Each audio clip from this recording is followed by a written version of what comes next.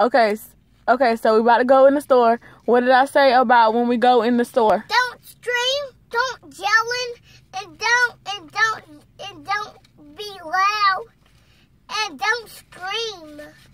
Okay, and what else? I know. And and don't and don't get and don't pass licks. And don't pass lips, or you get a spank in the car. Joe, what did I say about going in the store? Goes there. What did I say about going in the store? No passing lids? And no yelling. And Joe, no. what did I say? Joe. Josiah. You hear me. What did I say about going in the store? No passing lips, right?